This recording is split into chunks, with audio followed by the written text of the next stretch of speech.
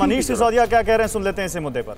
के लिए देश भर के बच्चों को भी मैं कहना चाहूँगा कि अब आपकी बारहवीं की परीक्षा जो क्लास थी वो लगातार जो खिस्ती चली जा रही थी उसका एक टर्म एंड उसका एक जो लॉजिकल एंड आ रहा है। पर अपनी पढ़ाई जिस तरह से आप करते रहे थे आगे के लिए भी करते रहें।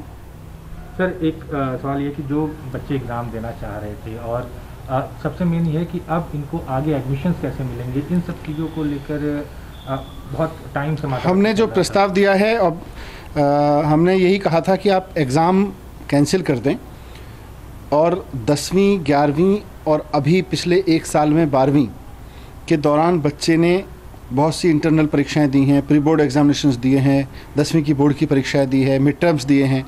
उन सब में उसकी परफॉर्मेंस के आधार पर उसका आकलन करें और उसको फिर बारहवीं में उसके रिज़ल्ट डिक्लेयर करें उसके बेस पे। फिर भी अगर कोई बच्चा उससे संतुष्ट नहीं होता है तो उसको एग्ज़ाम दिलाने की कोशिश करें जब सिचुएशन ठीक हो जाए।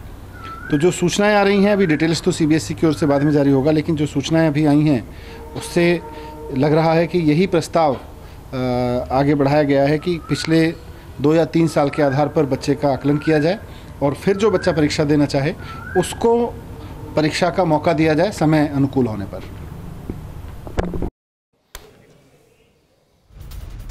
एक बहुत बड़ा फैसला लिया गया है और आपको बता दें कि यूके में ए लेवल एग्ज़ाम जो होता है वो लगातार दूसरे साल जून के महीने में जो होता है उसको कैंसिल किया गया। तो हमारे लिए एक इंस्पिरेशन भी है।